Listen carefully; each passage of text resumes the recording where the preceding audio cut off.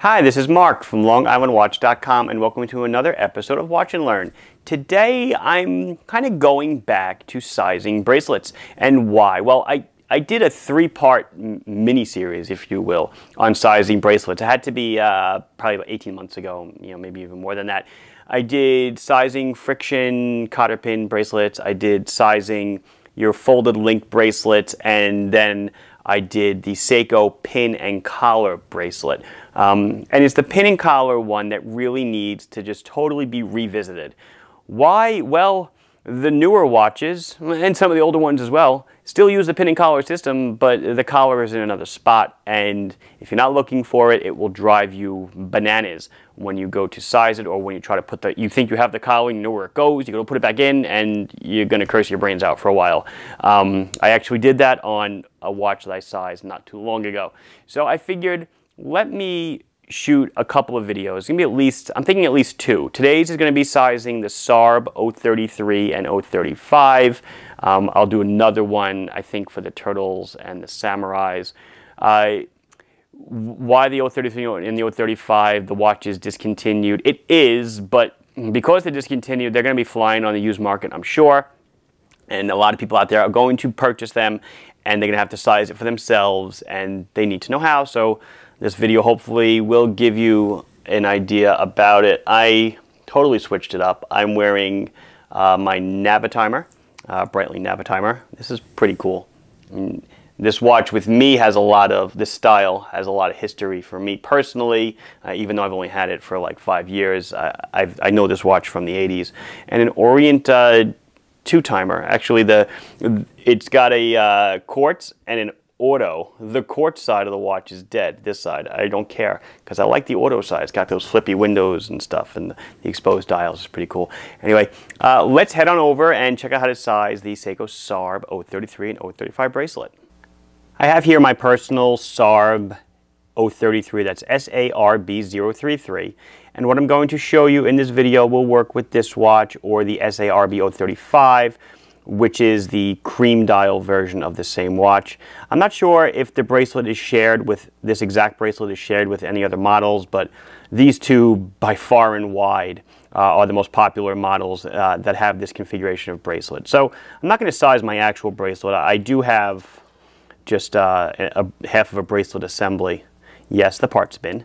Uh, half a bracelet assembly uh, that I'm going to do it on. But I want to let you know that if so, if you're going to do your watch, you know, what you would want to do, I, I always think it's easiest, so the whole thing isn't flopping around, is to just use a, uh, just to take advantage, excuse me, of the quick release pin that's right here.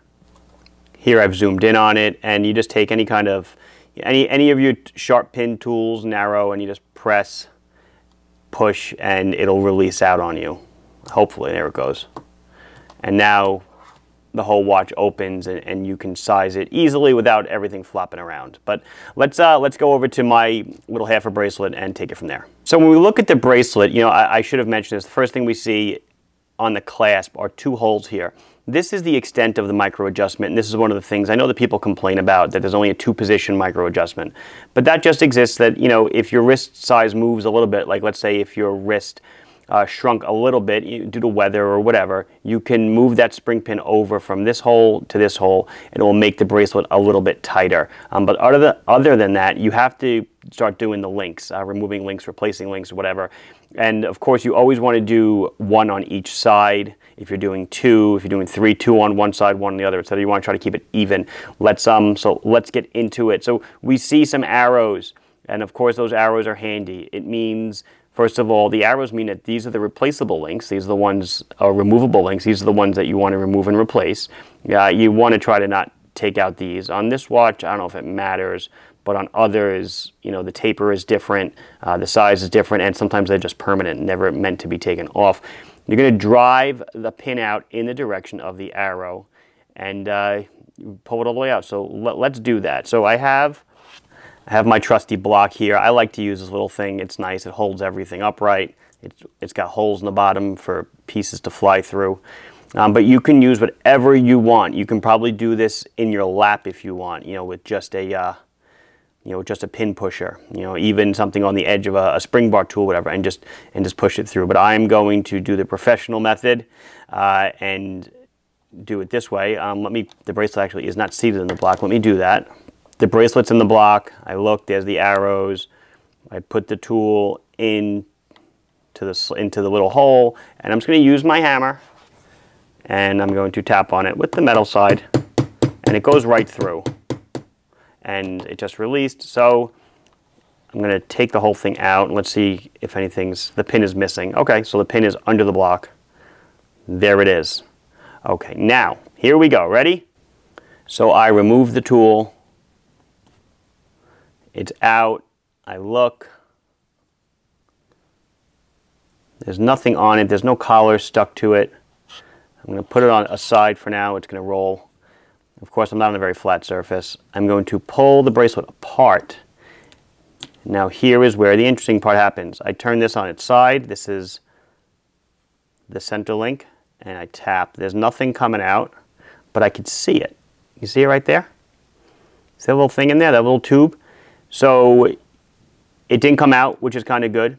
Um, but there's a very good chance that when you flip the bracelet up, it will come out and you'll lose it. So I'm going to actually just push it out so we can, so we can take a look at it. So there it is on the end of the tool. You see it right there? This is the collar. Uh, the collar is not on the outside like I did in the other video. It is on the inner link, which you might say, why would they do that? Well, it makes it so much easier to put back together. Uh, if you recall that other video, you needed a third hand, you know, almost to, to put the whole thing back together. In this case, because the collar is captivated inside of the center link, it's held in place. It makes it so much easier to put back together. And hopefully your eyes are sharp. If you look, the hole on this side, this hole, is larger, it's a larger bore than the hole in this side. So this this collar that I took out that's still on the edge of my tool, that's sticking to my gloves, it actually won't fit in here. I can push all I want. It's not going to fit. I mean, I'd have to really crunch it up and jam it in, but it will go right into here. So let's, let's shelve that conversation for a minute and uh, let's talk a little bit more about the bracelet. So now, if I wanted to remove another link, well, you have to, right? I got to remove another pin. You can't just remove a link. To remove a link, uh, you can't just remove a pin. You have to remove at least two pins to get rid of one link. I would do the same process again. Drive it through, pull out the pin, watch for the collar, pull off the link, and then let's say that's all I wanted to, all I wanted to do, then I have to go and put it back together. So the mistake a lot of people will make, so they'll have it together, they'll drop in the pin not realizing that there was a collar in there that fell out onto their tabletop or wherever, and that's it. I've just pressed it in with my finger. So you can imagine what's going to happen, even if I drive it all the way down. If, if you don't believe me, I'll drive it down with my hammer. There it is. Bracelets. So the person goes, oh, bracelets together. They come out of the, the jewelry store or the, the mall kiosk. That's my favorite, where they had it done.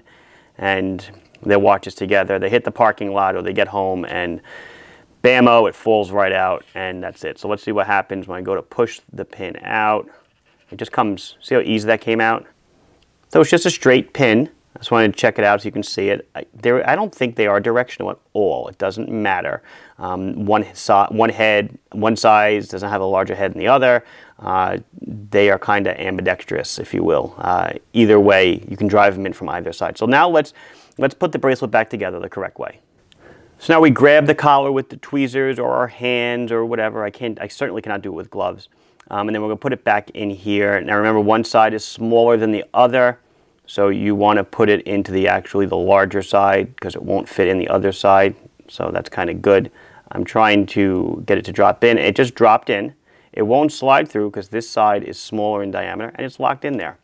Okay, so now I'm going to put it back, put the bracelet back together and I'm going to push the pin in.